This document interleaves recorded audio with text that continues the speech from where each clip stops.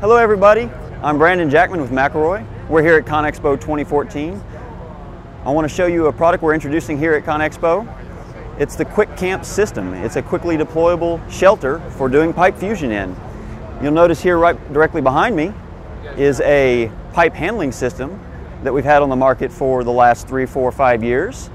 This allows you to load a rack of pipe for a day's worth of work on the, on the MegaMc Polyhorse. You dispense the pipe one at a time into these pipe stands here, one roller and one track stand. That allows you to align the pipe with your fusion machine and then insert it into the machine. The new product we're introducing here at ConExpo is the shelter itself. The shelter starts as a 20 by 8 standard ISO shipping container. It is CSC certified for international shipment.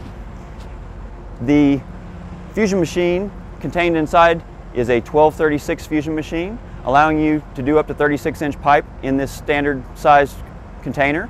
The fusion machine will ship inside the container. This container can be folded out by two men in about 15 minutes. Total job site setup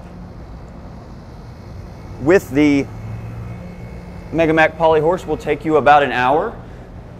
Now we've come inside the shelter to show you the fusion machine itself and the pipe seals here that seal the elements out around the pipe. This shelter is made out of structural insulated panels. It's very well insulated and as you see it's also air conditioned. This structure will allow you to do fusion in hot climates, cold climates. We also have heating in these air conditioning units. Rainy season, snow, you're gonna, you're gonna be able to fuse in, in weather that you typically would shut down your job site.